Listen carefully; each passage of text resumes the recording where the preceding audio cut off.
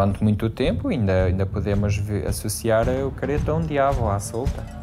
O careto representa o mal em contraposição depois ao, ao bem que as pessoas procuram uh, fazer durante o ano, mas nesse dia é permitido vestir a pele do diabo.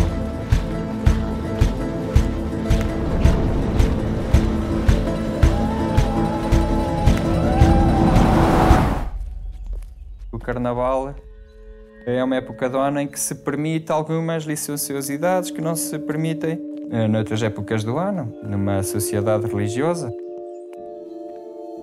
Adaptou-se um dia em que se permitia tudo aquilo que ia ser proibido a seguir. Os excessos, a euforia, a alegria, numa época crítica, onde já passaram três meses de frio, de em que a terra está morta, em que nada cresce, em que os frutos não germinam, e eh, o homem sente a necessidade de provocar essa fertilidade, a fertilidade da terra, da qual depende a nossa sobrevivência, e a fertilidade uh, da mulher.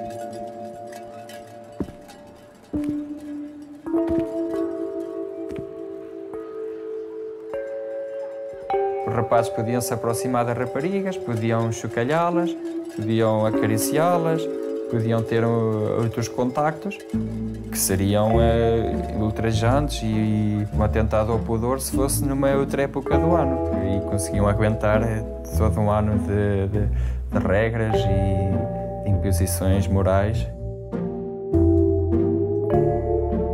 O careto tem uma função perseguir as mulheres e de chocalhá-las num ato de cariz sexual eh, porque é a busca do homem, é, é essa, é a busca pela rapariga, é a busca pela mulher.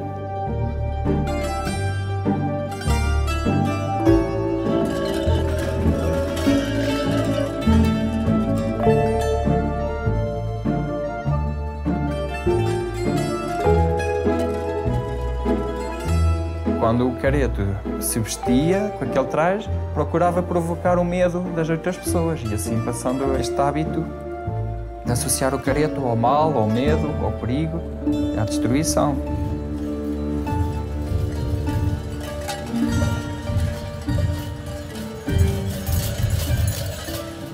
O fato de careto tem um poder sobrenatural que nos transmite uma força. Eh, e as pessoas de, acreditam nisso.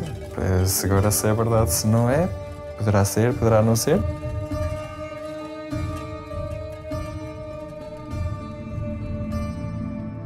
O meu nome é Luís Filipe, tenho 33 anos e sou careto desde que me lembro